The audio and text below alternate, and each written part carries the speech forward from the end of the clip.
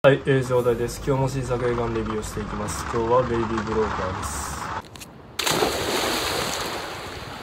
監督是枝裕和主演ソン・ガンホー撮影監督ホン・ギョンピョで音楽チョン・ジェイルという韓国で撮ったということで、まあ、その是枝裕和監督ですね、えっとまあ、万引き家族撮ってからですね、えっとまあ、海外で撮るという形になってて、まあ、真実っていう映画が、まあ、フランス映画だったかな、まあ、あるんですけど、まあ、是枝裕和監督、えっとまあ、YouTube にもあるんですけどあのポン・ジュノ監督とまあ対談したりとかですね、まあ、そういったまあ進行もあるからっていうこともあるし、まあ、韓国ではめちゃくちゃやっぱ人気があるっていうことなんで、まあ、それでまあその韓国で撮るってなった時に、まあ、やっぱそれなりのやっぱ夫人がすごいこう集まってきてるわけでその撮影監督ですね本ギョンピョ、えーとまあ、そのパラサイトとかですねあの国村の,、まあその撮影監督をしてた人でありあの先月ですねあの流浪の月ですねそれのまあ撮影監督もしてたということで、まあ、一応まあ話題にはなってたっていう、まあまあ、その人ですね。あのでプラス、えー、と音楽がこのチョン・ジェイルっていう方で、えー、とイカゲームのあの音楽をしてた人みたいです、まあそまあ、なので是枝裕和監督が、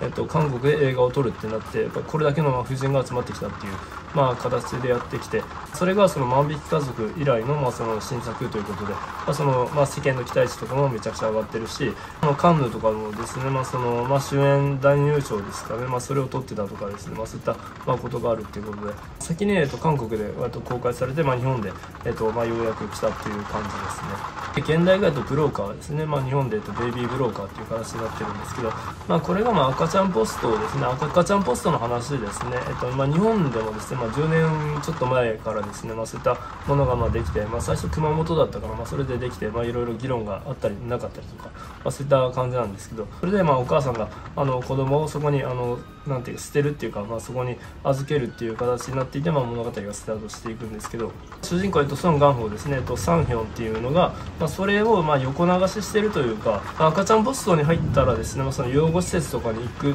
ていう、まあ、流れなんですけど赤ちゃんポストに入ったっていうのを、まあ、その監視カメラとかをいじって入ってないっていうことにしてでその赤ちゃんをなんか横流ししてその子供が生まれない人たちとかに、まあ、養子縁組をしていって、まあ、そのなんかお金を稼ぐっていうか、まあ、そういった風なことをしてる、まあ、いわゆるそのその犯罪行為を、まあ、してるっていうことですね。でその犯罪行為をしてるっていうのもその金儲けっていうよりもそのあの普段の生活で金がないから借金があるからとかですね。そういったそのやむを得ない形でその手を出した方法っていうのがそのあの子供を売り買いするブローカーだったっていう、まあ、そういったのがまあ主人公であるってこと。でそれとまあもう一つはペドゥナですね。がいるあの刑事とかがその、まあ、赤ちゃんをそういったまあ売り買いしているっていう、まあ、それを摘発するためにまあずっとその張り込みをしているっていうのがまあ2つの視点でまあ描いていくわけで、まあ、それでまあ物語ですね。最初のお母さんがその赤ちゃんを捨てたところからで次の日お母さんが戻ってくるんですよね。で戻ってきてからまあいろいろああってっていう形になっていってまあ、でもやっぱり自分では育てられないっていう、まあ、状態になっていく。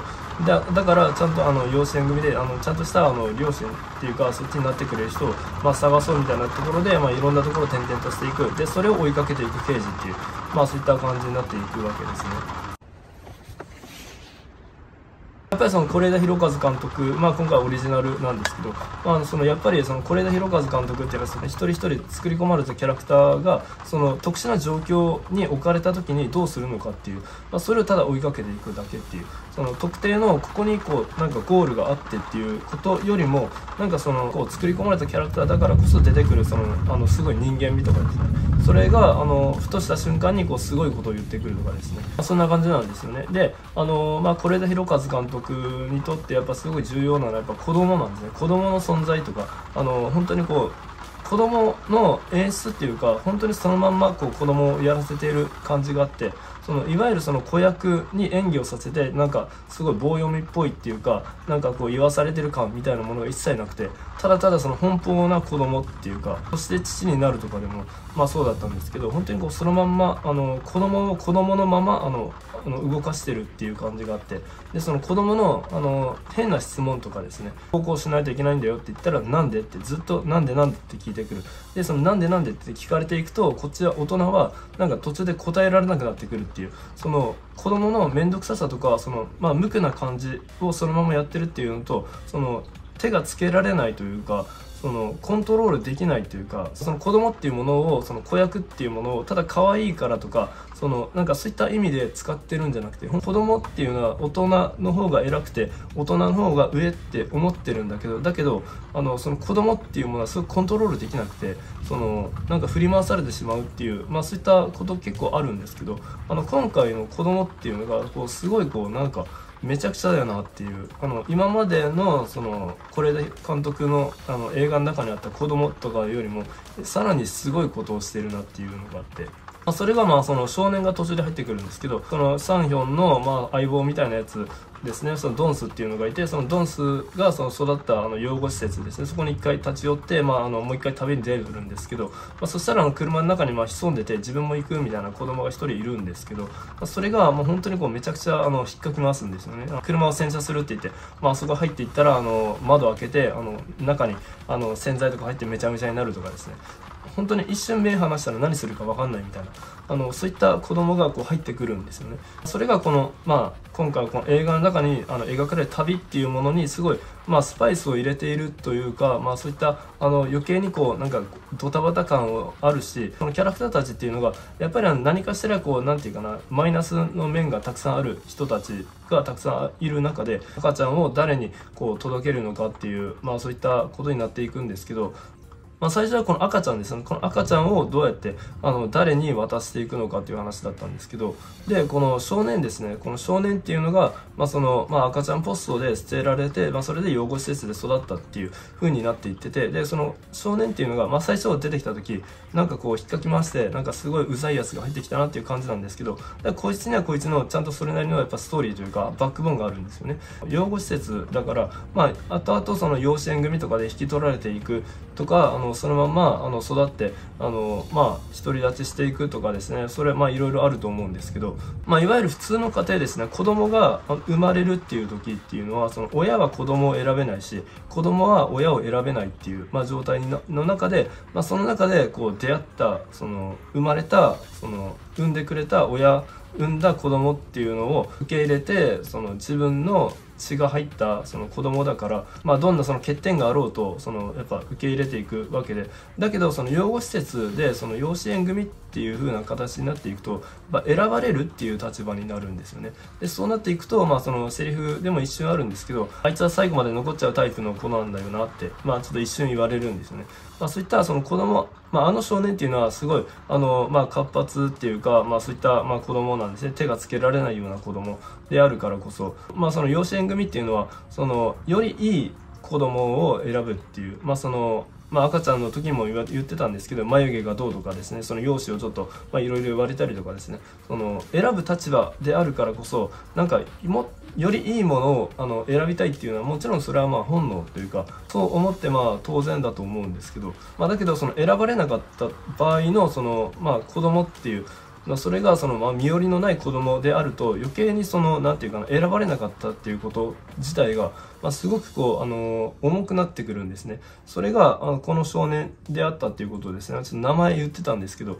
まあ、ちょっと忘れててですねあのオフィシャルサイトとかにもちょっと載ってなかったんで名前があれなんですけど最初このチームに合流した時はめちゃくちゃやってるんだけどそのこの少年っていうのはすごくあの重要な立ち位置にいるなっていうのがあってそれがこうただその、まあ、物語最初のこの赤ちゃんですね。この赤ちゃんをあのどうするのかっていうただそれだけではなくて、まあ、産んだけど育てられなくてなんか餓死させたりなんかそのネグレスクトとかで虐待とかになってその悪い方向に行くよりもだったらそのなんか施設を作って子供をちゃんとあの守るっていうのがそのなんか制度としてできていればそうそういったことを防げるんじゃないかっていう、まあ、ことがあるからそれはそれでいいんだけどじゃあそれがその子供がそのなんか施設とかで預けられたその子供っていうのが、まあ、どうなっていくのかっていうことの、まあ、一つその危ういところギリギリのところにいるっていうのがそれがあの少年に、まあ、託されたその物語的な役割だと思うんですよね。それがまあその養護施設であのなんか選ばれてどっかのその家族に引き取られていった時に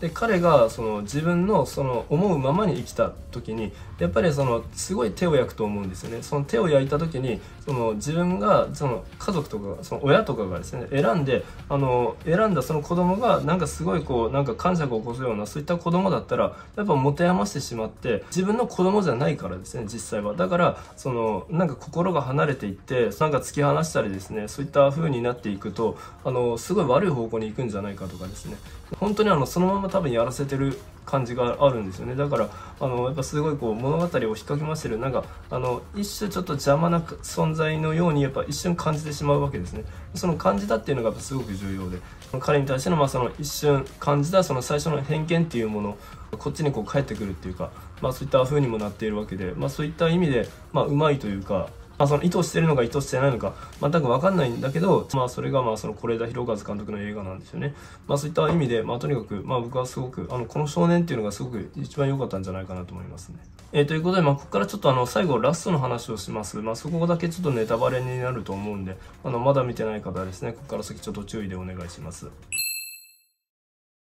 えっと、ラストですね。ラストなんですけど、なんか、すごいこう、急になんか駆け足で終わっちゃったんですね。なんかそこが、なんか、あれってやっぱなっちゃったところがあって、一応まあ流れはわかるんですよね。その、まあ、あのお母さんでお母さんはその、まあ、父親っていうか、まあ、あのあれを殺してるわけですね。殺して、まあ、逃げてる状態。で自分がそのまま育ててたら、まあ、自分はまあその犯罪者だからそのいつか捕まってしまうわけだからその前にその子供を預けるっていう、まあ、形になっていった。育てたいんだけど育てられないっていう状態があったっていうこと。でそのあの殺したその父親のその妻の方がいて、まあ、それは曲がりなりにも夫の子供だからそれはもう自分が引き取って育てますって言ってきたからそれをまあその捉えないといけないみたいな感じになっていく。わけで。だけどそっちには渡したくないってやっぱなってしまうっていうのがあって、まあ、お母さんを実習させてであのうまくいけば3年ぐらいで、まあ、出てこれるから、まあ、その後一緒にあの育てればいいっていう形、まあ、その間はあの自分たちで育てるよっていう形になっていて。でお母さんはあの、まあ、うまいこと行き過ぎて、まあ、2年半ぐらいで出てこれたっていう形になってまあ、それでまあ最後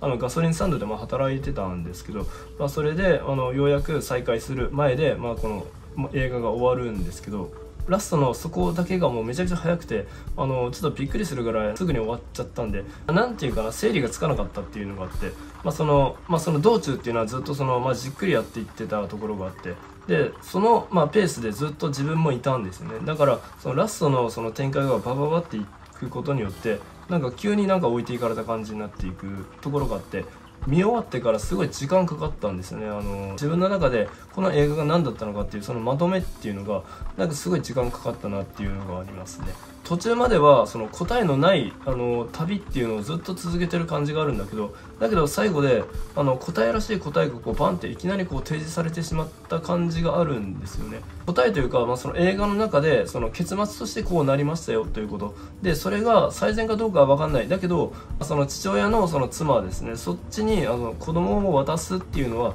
それは子供のためになるのかっていうことをですね、まあ、その向こうの方っていうのは多分その父親っていうのが多分一番やっぱトップなわけでその父親の血を継いだ子供っていうのはその自分たちの家系で育てないといけないっていうそのやっぱ血っていうのをすごく大事にしてるからこそやっぱ引き取ろうとしたっていう部分があってまあだけどその主人公サイドっていうのはその血じゃないんですよね。その人間関係っていうのはそのその瞬間のその人間関係でできていてあのまあバンの中でその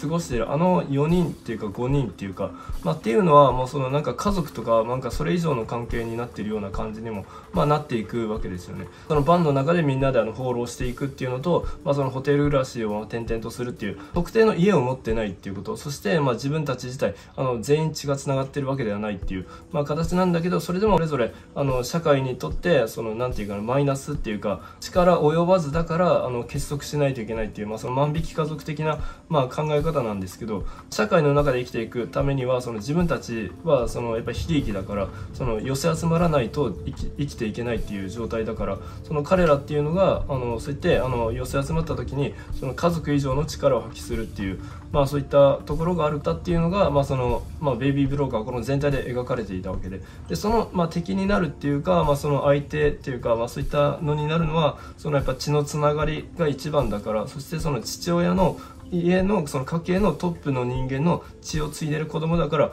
それを引き取るんだっていうこと。それは愛情とかそういったものではない。その、えっと、引き取ろうとしてる妻の血は一切入ってないわけで、まあ、そういったまあ対比になっていてでそれを拒否してその、まあ、自分たちで育てていくっていう形になっていく、まあ、一応まあ納得はするんですけどあの、まあ、すごいこうトントン拍子にいったっていうのがあって、まあ、最初、まあ、あの見終わった時になんか整理がつかなかったっていう。あのなていうかないきなりペースが最後上がったからですね置いていかれたっていうまあ感じがあって、まあ、だけどまあ見終わってですね、まあ、しばらくこうずっと考えないといけないところあるんですけど、まあ、それはまあもちろん映画としてはすぐコスパのいい映画であるっていうことは間違いなくてその見てるだけじゃなくて見てる間だけじゃなくてその見た後もまあずっとあの考ええざるを得ないというか、まあ、その考えていくようなものになってるでそれ自体がその赤ちゃんポストの赤ちゃんをそのあの預けるっていうその形があの必ずしも正しいのかどうかっていうことをあのやっぱあの描いてるからこそですねその映画が終わってもその、まあ、思考がその持続するっていうのは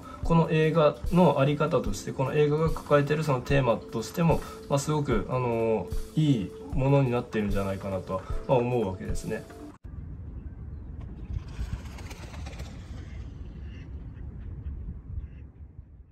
えー、ということで、ベイビーブローカーでした。えっ、と、まあ、これで一応上半期は終わりかなと思います。えっ、と、まあ、上半期ベスト10のま動画を出そうかなと思います。で、僕今短編がずっと撮ってるんですけど、えっ、と、去年ですね、あの、ラブソングに捧げられた恋人たちっていうのをあの、11月ですね、出してですね、まあ、それの続編をですね、年末からずっと撮ってたんですよ。で、今まで、あの、一人でや全部やってたんですよね。で、なんですけど、あの、ようやくですね、あの、ようやく、あの、初めてですね、あの、人と一緒にやるっていう、まあ、形になり始めてきてるので、まあ、それをあの月末からですね、まあ、ようやくあの撮り始めるっていう形になっていきます。なのであのその撮影ですねそっちの方がですね、まあ、ちょっと本格的になり始めてきてるところがあるので、まあ、更新頻度ですね、まあ、なるべくまあ下げないようにですね週12本ぐらいですね、まあ、出しながらですね、まあ、やっていこうかなと思うのでですねそういった感じでですね、まあ、今後進んでいくかなと思います。えチャンネル登録、高評価、コメントなどお願いします。えっ、と、このチャンネルの方向性をですね、なんかこのままでいいのかっていうのはずっと思ってるんですけど、